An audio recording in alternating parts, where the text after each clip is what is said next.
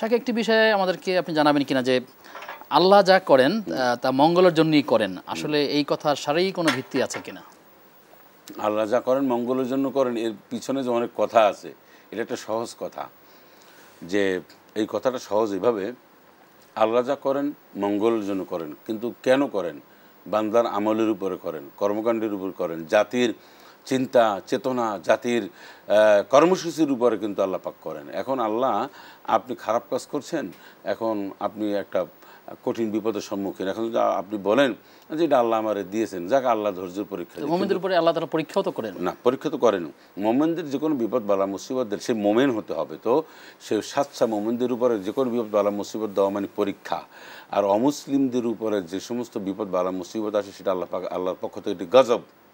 অতএব আপনাকে চলতে হবে এদিন আল মুস্তাকিম। এই চলার পথে আপনাকে আল্লাহ কিছু পরীক্ষা নিরীক্ষা নেবেন। কেন নেবেন? যে তুমি কতটুকুন চলছো, কোন স্বার্থ? আমাকে পাওয়ার উদ্দেশ্যে, জান্নাত এবং আমার ভালোবাসা লাভের উদ্দেশ্য করছ? না, মানুষকে দেখানোর উদ্দেশ্য? আল্লাহটা পরীক্ষা নিরীক্ষা নেবেন। এই পরীক্ষা পাশ করতে হবে। এই পরীক্ষা দিয়েছেন সমস্ত নবী রসুলরা। এই পরীক্ষা দিয়েছেন সকল সাহাব আজমাইনগণ, সালফে সালিহিনগণ এবং আবহানিব রহমতুল্লাহ থেকে শুরু করে এমন কোনো হক্কানি ওলামায় নাই যে তারা ইমানের কঠিন পরীক্ষা না দিয়ে উত্তীর্ণ না হয়ে পেরেছেন এরকম নাই। পরীক্ষা যদি আপনার না আসে একজন ছাত্র যেমন পরীক্ষা ছাড়া ছাত্র হতে পারে না। পারে? পরীক্ষা তাকে দিতেই হবে ছাত্র হতে হলে।